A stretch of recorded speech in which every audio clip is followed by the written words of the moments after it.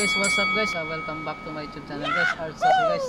So sa ngayon guys, ah, magkakabit tayo ng original na camera. Palitan natin siya ng camera natin ha. Ah, yung camera na ano guys. Ito guys yung papalit natin guys na camera.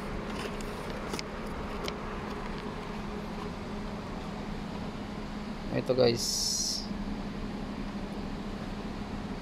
So nakabit ko na siya guys yung camera. Dito. Ito sa guys. Yan. Bali nakabit ko na siya. Na modify ko na. So yung camera niya na original guys. Ito papalitan ko siya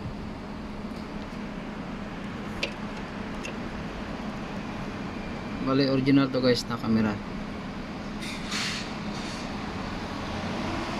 Yung original na camera guys, ah blurred na siya guys. So kailangan na sa papalitan.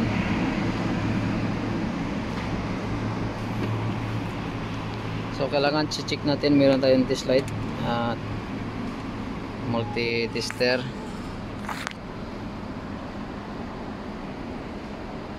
Kailangan nito mayroon tayo nito guys. Multi tester guys. Uh, check natin kung ano ang voltahe na lumalabas dito guys sa current output ng reverse.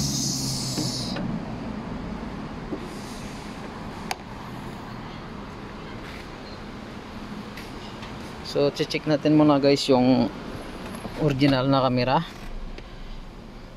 makikita kung blurred siya.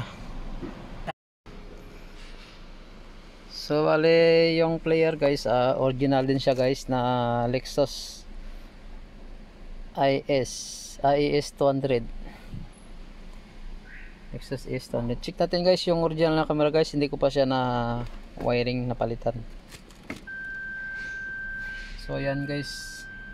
Uh, yung camera niya na original masyado na siyang blurred so tapalitan natin siya ng camera na bago. Modified guys. Hindi siya plug and play.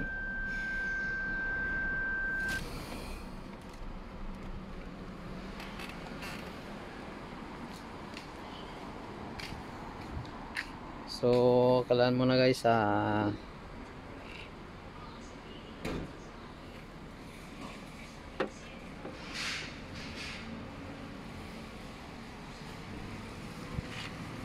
Lexus yan guys. Lexus uh, GS GS 200 ito yung camera guys na pinalit ko na. So makikita nyo guys yung voltahe nya guys uh, nasa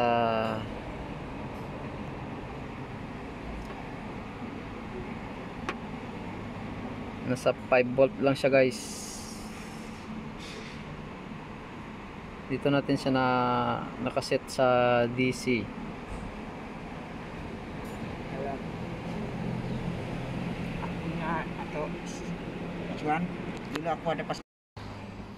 so ito guys uh, nasa 5 volt siya guys. Nakatutok siya sa 10 volt DC yung output nya 5 volt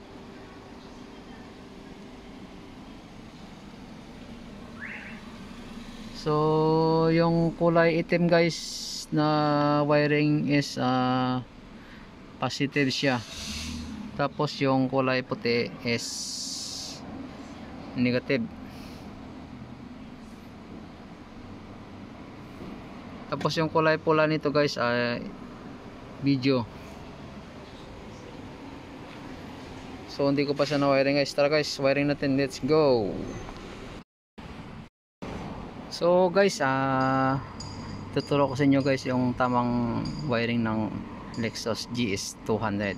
Ito guys, ah kulay puti na original na wire is uh, ground guys ng camera. Tapos yung kulay pula nito guys, yun ang video ng camera.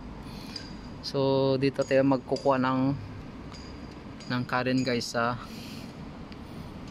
uh, 12 volts kasi dito 12 volts yan guys. Papuntang ilaw dito. Yan.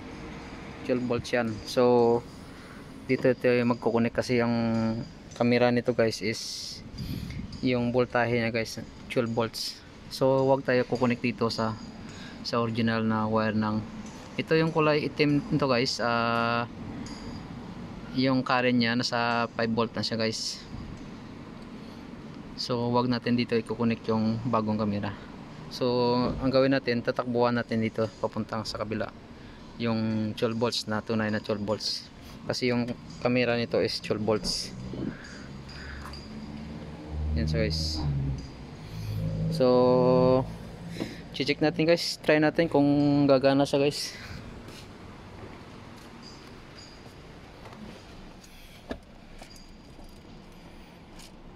one two three reverse. So ayan guys. Gumana. Success guys. Success. Yung camera na bagong kabit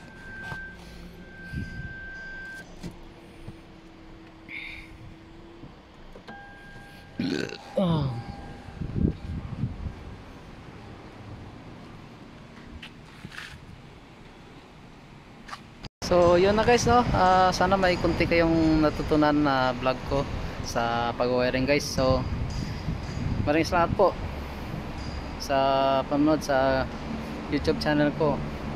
See you guys next videos. Bye bye God bless